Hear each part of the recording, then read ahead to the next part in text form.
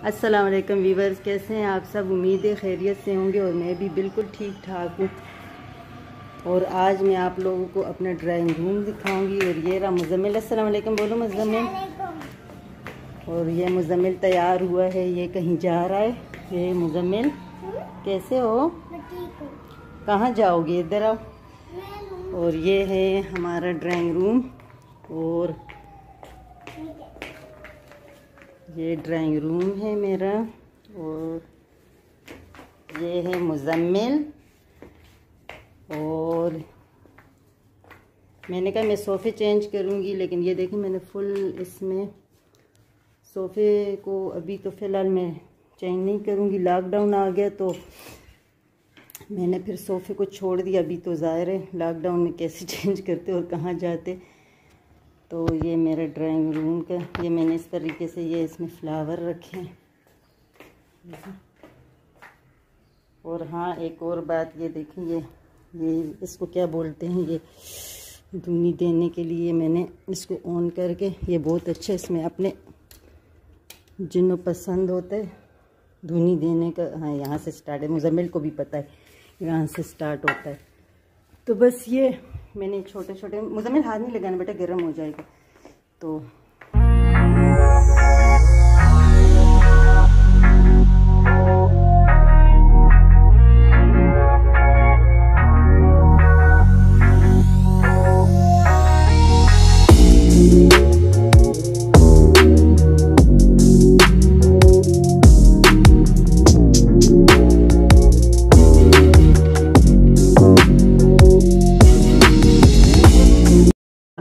Tile लगवाए।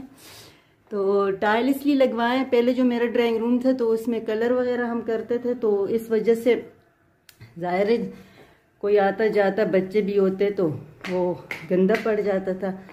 और मुजम्मिल वो वाला बेटा, वो दरवाज़ा बंद करो, वहाँ से रोशनी आ रही है ना, सही नहीं दिख रहा। तो इस दफ़ा फिर मैंने ये फुल टाइल लगवाए। हैं ये देखें, ये फुल मैंने टाइल लगवाए और ऊपर से ये देखें सीलिंग नज़र आ रही है तो ये इस तरीके से सीलिंग करवाई और ये साइडों पे हमने ये फुल टाइल लगवाए हैं। वो भी सामने भी टाइल लगवाए हैं।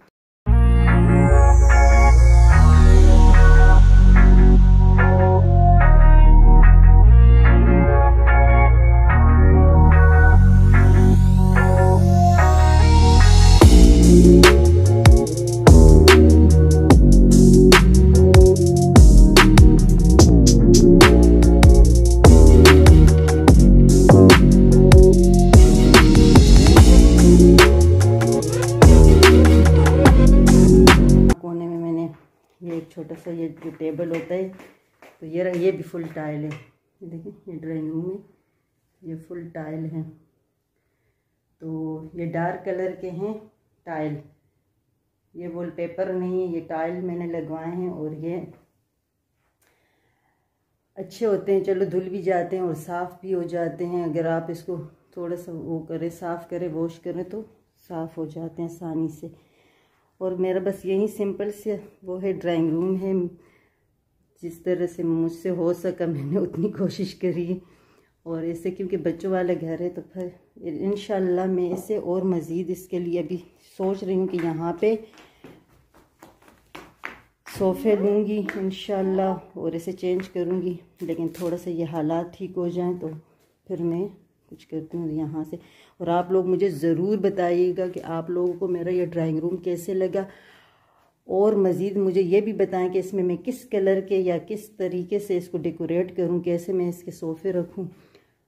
तो मैंने तो अभी फ़िलहाल इसे इसी तरीके से मुजम्मिल ने भेज दिया और बाकी इन मैं आप लोगों के साथ अपना किचन, नीचे का किचन भी शेयर करूँगी। और जितना मुझसे हो सके अपनी रोटी अपने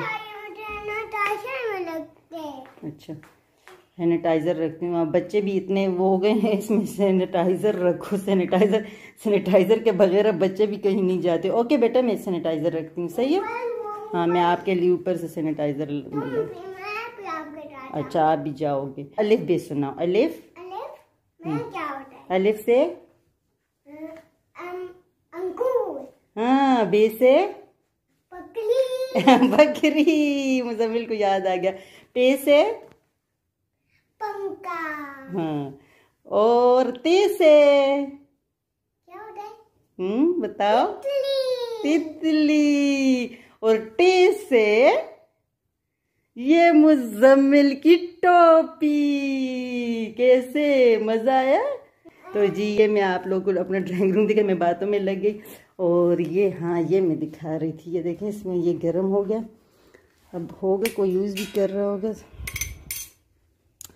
तो इस इस तरीके से इसमें ये मैं डालूँगी। इसकी खुशबू भी अच्छी है इसमें आह, ओह तो होता है, कौन सा वो वाला, उसकी भी खुशबू बहुत ज़्यादा अच्छी होती है। तो ये मैं इसमें डालूँगी ये, इसमें। तो इसकी बहुत ज़्यादा अच्छी खुशबू आती है। मेरे को तो ज़्यादा अच्छा लगता है।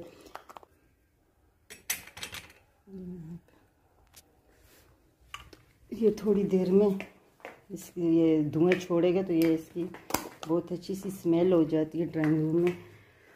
तो ये रहा भाई मेरा ड्राइंग रूम और आप लोग मुझे ज़रूर बताइएगा कि आप लोगों को मेरा ड्राइंग रूम कैसे लगा। सिंपल सा, सादा, इतना ख़ास वो मैंने इसको डेकोरेट नहीं किया, लेकिन बस अपने हिसाब से और माशाल्लाह से।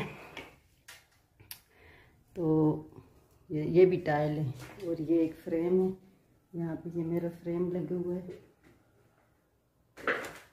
तो बस जी, यही थी मेरी वीडियो और ये मैंने आप लोगों को अपना ड्राइंग रूम दिखाया। और अगर आप लोगों को मेरी ये वीडियो पसंद आए तो इसे शेयर करें सब्सक्राइब करें और बेल आइकन को प्रेस कर दें और अपनी दुआओं में मुझे भी याद रखें और आप जहाँ रहो, खुश रहो, हँसते मुस्कुराते रहो। फिर मिलते हैं किसी और वीडियो में इन किसी और टॉपिक पे। तो अल्लाह हाफिज़।